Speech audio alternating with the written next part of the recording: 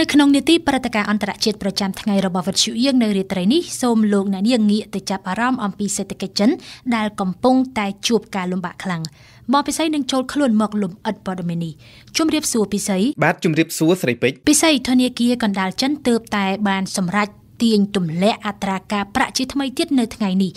តែនេះគឺជាវិធានការដើម្បីផ្ដល់សន្ទុះដល់សេដ្ឋកិច្ចចិនដែលកំពុងតែជួបការលំបាកខ្លាំងតើមែនទេចា៎បាទស្រីពេជ្រ ដូចយើងបានដឹងហើយសេដ្ឋកិច្ចចិននៅត្រីមាសទី2ឆ្នាំ2022នេះបានដើរថយក្រោយខ្លាំងណាស់ យោងតាមការិយាល័យស្ថិតិជាតិចិនកាលពីពាក់កណ្ដាលខែកក្កដាកន្លងទៅ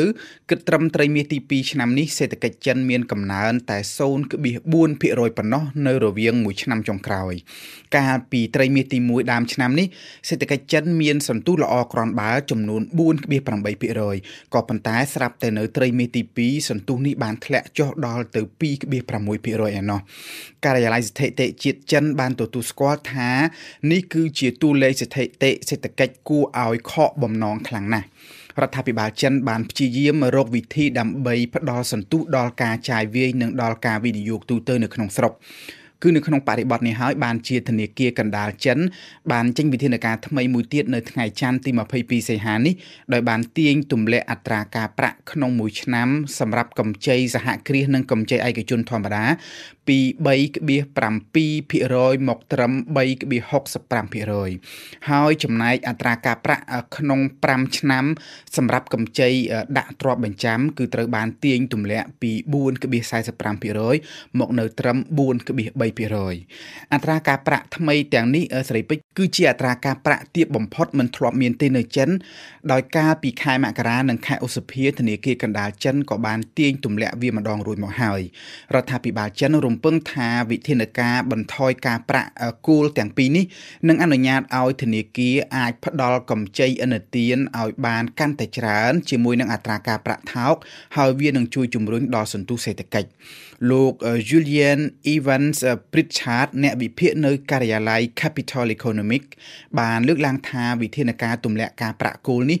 នឹងជួយកាត់បន្ថយខ្លះនៅការលំបាកតានតឹងផ្នែកហិរញ្ញវត្ថុរបស់សហគ្រាសចិនដែលជាប់បំណុលច្រើនក៏ប៉ុន្តែតើវាអាចនឹងគ្រប់គ្រាន់ដែរឬទេពិសេសដើម្បីជំរុញផ្ដល់សន្ទុះដល់សេដ្ឋកិច្ចរបស់ចិននោះបាទស្រីពេជ្របើតាមការវិភាគរបស់លោក Evans Pritchard គឺវិធានការនេះវាស្ដួយស្ដាងបន្តិចហើយនៅក្នុងការរំពឹងថាអាចជួយឲ្យសេដ្ឋកិច្ចចិនត្រឡប់មករកមានសន្ទុះល្អវិញនោះ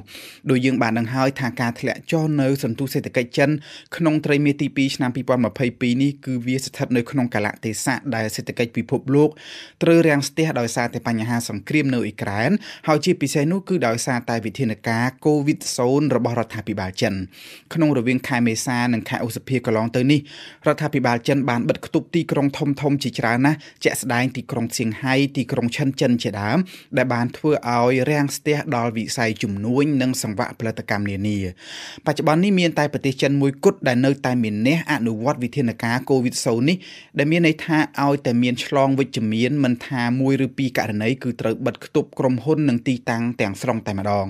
ការឆ្លងរាលដាលកូវីដនៅមិនទាន់ថយចុះទេនៅចិននៅក្នុងអំឡុងពេលនេះស្រីពេជ្រជាក់ស្ដែងថ្មីថ្មីនេះនៅកោះហៃណានទេសចរនៅលើកោះនេះទាំងអស់ត្រូវបានគេហាមឃាត់មិនឲ្យធ្វើដំណើរចាក់ចេញពីលើកោះបន្ទាប់ពីមានករណីឆ្លងកូវីដករណីឆ្លងថ្មីក៏ត្រូវបានគេរកឃើញផងដែរនៅទីបេនៅស៊ីនជាងជាដើមដែលសុទ្ធតែជាតំបន់ទេសចរសំខាន់សំខាន់របស់ចិនវិធានការកូវីដ0នៅតែបន្តបំភ័យក្រុមហ៊ុន សហគ្រាសនិងជាពិសេសនោះគឺវិស័យទេសចរតែម្ដងព្រោះថាអាចប្រឈមនឹងការបិទគប់ទាំងស្រុងគ្រប់ពេលទាំងអស់ឲ្យតែមានអ្នកវិជ្ជមានកូវីដម្នាក់អឺបន្ថែមពីនេះទៀតស្រីពេជ្រ បញ្ហាខ្វះធម្មពលប្រើប្រាស់ក៏ជាឧបសគ្គមួយដែរដែលប៉ះពាល់ដល់សេដ្ឋកិច្ចខេត្តមួយចំនួននៅចិនបានកាត់បន្ថយការផ្គត់ផ្គង់ចរន្តអគ្គិសនីធ្វើឲ្យមានករណីដាច់ភ្លើងញឹកញាប់ប៉ះពាល់ដល់សង្វាក់ផលិតកម្មរបស់រោងចក្រក៏ដូចជាតាមផ្ទះរបស់ប្រជាជនជាដើមការចំណាយក្នុងស្រុករបស់ប្រជាជនចិននៅតែទាបខ្លាំងដែលធ្វើឲ្យសន្ទុះសេដ្ឋកិច្ចដើរយឺតខ្លាំងណាស់ដោយគេមិនរំពឹងថាត្រឹមការទាញទម្លាក់អត្រាការប្រាក់បន្តិចបន្តួចប៉ុណ្ណេះនឹងអាចជំរុញឲ្យប្រជាជនចិនងាកមកចំណាយចាយវាច្រើនជាងមុននោះឡើយស្រីពេជ្រដូច្នេះតើគេរំពឹងថារដ្ឋាភិបាលចិននឹងអាចសម្រេចកម្មវត្ថុកំណើនសេដ្ឋកិច្ចឆ្នាំ2022ដែលខ្លួនបានព្យាករណ៍ថានឹងមានកំណើនចំនួន5កដកសញ្ញា5%ដែរឬទេពិសីបាទស្រីពេជ្រតាមពិតទៅតួលេខព្យាករណ៍នេះគឺវាទាបបំផុតទៅហើយបើយើងប្រៀបធៀបទៅនឹងកំណើនសេដ្ឋកិច្ចចិនក្នុងរវាង30ឆ្នាំចុងក្រោយនេះតែជាមួយគ្នានេះអ្នកជំនាញសេដ្ឋកិច្ចជាច្រើនអ្នកបានអះអាងថាគេមិនរំពឹងថាចិនអាចសម្រេចកម្មវត្ថុមានកំណើនសេដ្ឋកិច្ចចំនួន5.5%នៅក្នុងឆ្នាំ2022នេះទេបើយើងក៏លេខទៅមើលឧបសគ្គជាច្រើនដែលកំពុងតែចោទបញ្ហានៅចិនការចុះខ្សោយផ្នែកវិស័យអចលនទ្រព្យនៅចិនគឺជាហេតុផលចម្បងមួយដែរវិស័យនេះមានចំណែកប្រមាណជា1ភាគ4នៃចំណូលដុលក្នុងស្រុករបស់ចិនក៏ប៉ុន្តែបច្ចុប្បន្ននេះវិស័យនេះកំពុងតែនៅទ្រឹងហើយមានបញ្ហាមិនប្រកបប្រជាជាច្រើន ក្រុមហ៊ុន Evergrande អាណាចក្រអចលនទ្រព្យដ៏ធំនៅចិន មានបំណុលដល់ទៅ260ពាន់លានដុល្លារដោយសារតែបញ្ហាបំណុលនេះក្រុមហ៊ុនសំណង់ខ្លះមិនអាចសម្រេចបង្ហើយគម្រោងសាងសង់ទៅតាមការសន្យាឬក៏ខ្លះទៀតបានបោះបង់ចោល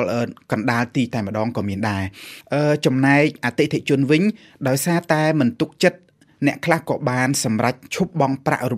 បង់រំលោះប្រចាំខែទៀតបញ្ហានេះមិនមែនប៉ះពាល់តែគម្រោងអចលនទ្រព្យនៅក្នុងប្រទេសចិនតែប៉ុណ្ណោះទេតែវាប៉ះពាល់ផងដែរដល់គម្រោងនានាដែលក្រុមហ៊ុនចិនចេញទៅវិនិយោគនៅក្រៅប្រទេសទៀតផងជានេះទៀតស្រីពេជ្របរិបទសេដ្ឋកិច្ចពិភពលោកយើងបច្ចុប្បន្ននេះកំពុងតែរាំងស្ទះខ្លាំងណាស់ដោយសារតែបញ្ហាសង្គ្រាមនៅអ៊ុយក្រែនដែលបានធ្វើឲ្យទំនិញឡើងថ្លៃគ្រប់មុខនិងមានអតិផរណាកើនឡើងខ្ពស់ការចាយវាយរបស់មនុស្សទូទៅនៅទូទាំងពិភពលោកក៏ត្រូវកាត់បន្ថយដែលធ្វើឲ្យតម្រូវការទំនិញដែលផលិតនៅចិនកាន់តែចុះទាបថែមទៀតដូច្នេះហើយសន្ទុះសេដ្ឋកិច្ចចិនក៏កាន់តែពិបាកងើបឡើងដែរខណៈដែលប្រជាជនចិនខ្លួនឯងនៅក្នុងស្រុកក៏មិនសូវហ៊ានចំណាយចាយវាយចាស់អរគុណពិសេសសម្រាប់បទអន្តរកម្ម RFI FF